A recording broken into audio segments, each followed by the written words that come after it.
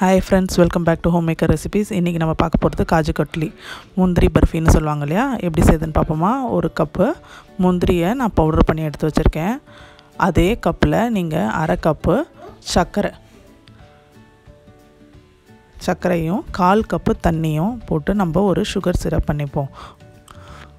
Sugar syrup ஒரு கம்பி பதம் வர அளவுக்கு நம்ம செஞ்சுக்கணும்.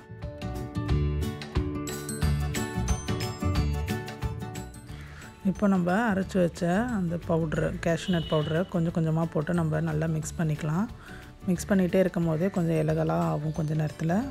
அதுக்கப்புறம் நம்ம கொஞ்சம் கொஞ்சமாக நெய் வந்து ஒரு ரெண்டு ஸ்பூன் போட்டு மிக்ஸ் பண்ணி அது சுருண்டு வர வரைக்கும் நம்ம வெயிட் பண்ணுவோம்.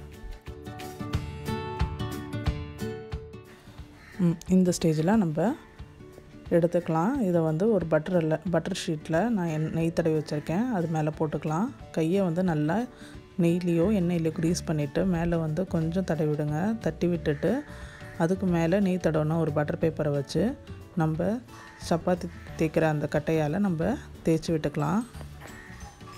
தேய்ச்சதுக்கப்புறம் மேலே இருக்க அந்த பட்டர் பேப்பரை எடுத்துக்கோங்க. உங்கள்கிட்ட இந்த சில்வர் ஷீட் இருந்ததுன்னா அதை வந்து நீங்கள் யூஸ் பண்ணிக்கலாம். இல்லைன்னா அதை வந்து அவாய்ட் பண்ணிக்கலாம். அது லைட்டாக சூடாக இருக்கும் போதே நம்ம வந்து டைமண்ட் ஷேப்பில் கட் பண்ணிக்கோங்க. கட் பண்ணிவிட்டு சர்வ் பண்ண வேண்டியதாங்க ரொம்ப சூப்பரான டேஸ்டியான சிம்பிளான இந்த ரெசிபியை நீங்களும் ட்ரை பண்ணி பாருங்கள் பிடிச்சிருந்தால் லைக் பண்ணுங்கள் ஷேர் பண்ணுங்கள் கமெண்ட் பண்ணுங்கள் மறக்காமல் சப்ஸ்கிரைப் பண்ணுங்கள் தேங்க்யூ ஃப்ரெண்ட்ஸ்